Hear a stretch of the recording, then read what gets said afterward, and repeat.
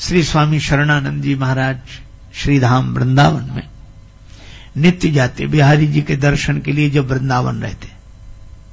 किसी ने कहा कि बाबा, तुम क्या करते हो इस भीड़ में? तुम्हें तो दिखाई देता नहीं है। फिर मंदिर में इतना परिश्रम उठा के आते काहे को? स्वामी जी हंसकर बोले, मुझे तो नहीं दिखाई देता, पर श्री कृष्ण को तो दिखाई देता है। वे तो देख लेते हैं कि दर्शन करने वालों में एक सूरदास भी आता है। यह है, हमारे हाथ बंधे हो तो क्या भगवान के हाथ तो खुले हैं?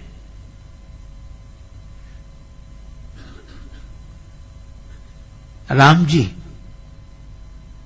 पर भरोसा किया तो आप आश्चर्य करोगे, उसी समय बचाने वाला आ गया। विभीषण जी आए, और कोई सजा दे दो। दूत को मत मारो, नीति के विरुद्ध है। और सही बात भी, आपके यहाँ कोई पोस्टमैन ऐसी चिट्ठी लेके आए, जिसमें कोई अशुभ समाचार हो तो क्या पोस्टमैन की पिटाई करोगे? कैसी चिट्ठी लेकर आया? हनुमान जी तो राम जी के दूत हैं, राम जी की बात बता रहे हैं, उसमें तुम, रावण बोला, ठीक कहते हो। बंदर को और कोई दंड दे दो। अब और कोई दंड देने की बात आई तो हनुमान जी ने सोचा, पता नहीं कौन से दंड दिया जाता है। रावण को दंड देते समय अपनी बहन सूर्पणखा की याद आ गई।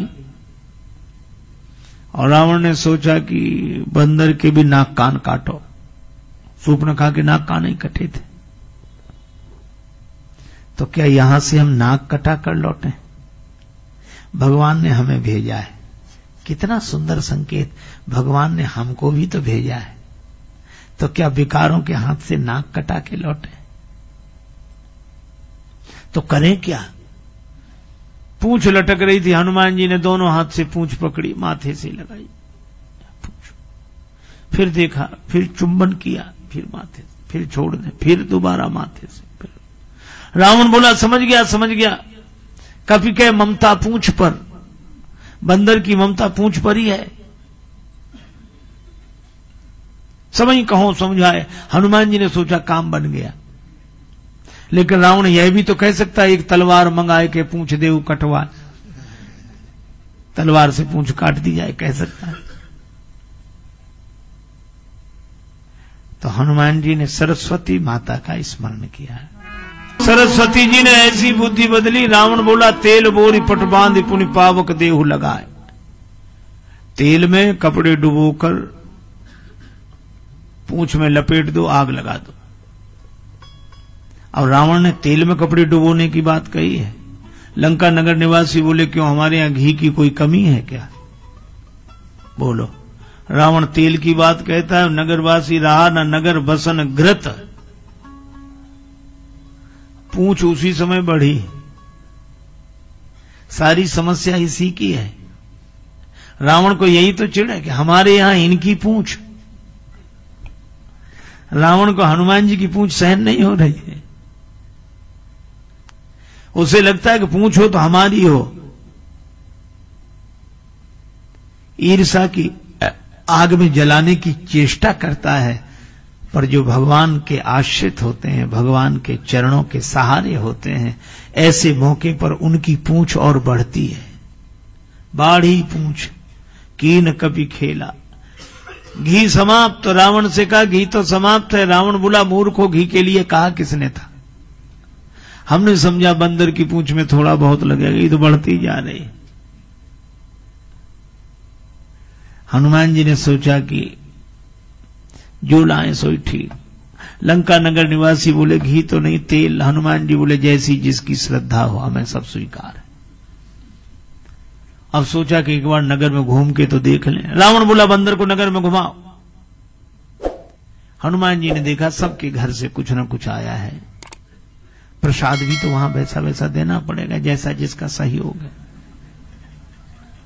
विभीषण जी के घर से कुछ नहीं आया। और जैसे ही पूंछ में आग लगी, हनुमान जी बिल्कुल छोटे हो गए, नींबू की चढ़े हुए बंधन से मुक्त हो गए।